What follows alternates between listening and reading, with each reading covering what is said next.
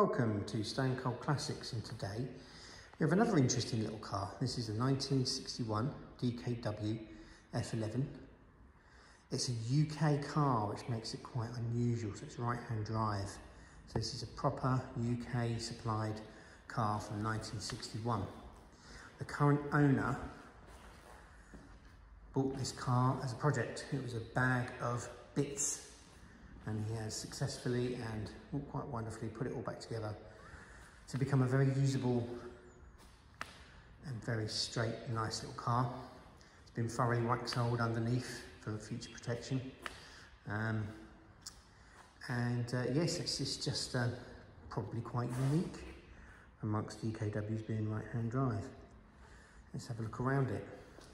Paint's all very good on the car. Wheels and tyres are great.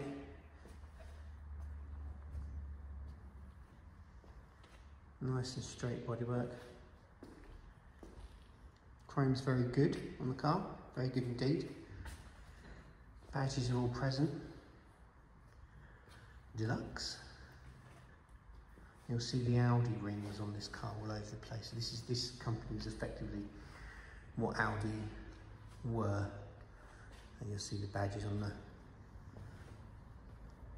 on the hubcaps and on the front of the car are the four rings of the Auto Union, which is what Audi sort of came from.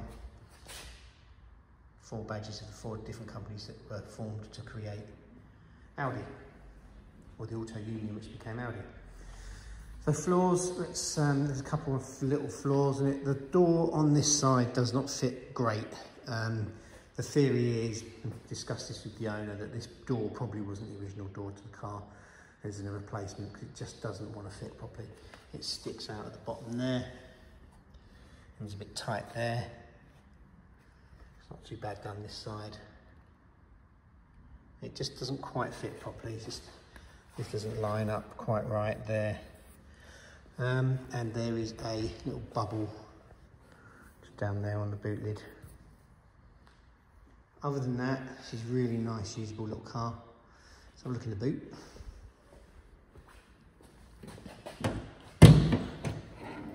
When I say usable, it genuinely is a usable car. It's um, I followed the owner of this car up the bypass the other day and he easily hit 70 miles an hour, which is what my car was reading.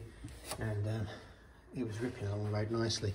Very comfortable, very, very um, sophisticated for its day. Certainly weren't any British cars in 1961 that drove as well as this did, does. I can't imagine uh, the equivalent Anglia would be uh, as quite as nice to drive. Let's have a look inside. Seats are in great condition, front and back. It was only completed a couple of years ago, this car, but it has done some miles. The owner does like to drive it. It's uh, been to many, many places right through Europe. You've got a conventional four-speed gearbox. She's like a H pattern one, two, three, four, reverses across and up, pull it, push in and up. Um, it's two-stroke car, so you have to mix two-stroke oil with the with the fuel. It's 87,900 miles on the speedometer, but that can't be believed. We don't have any paperwork. We've just got the V5, which shows six previous keepers um, since 1961, which is not bad, and um, three A3 sides of paper documenting what the owner's done to get this car up to back up to this standard.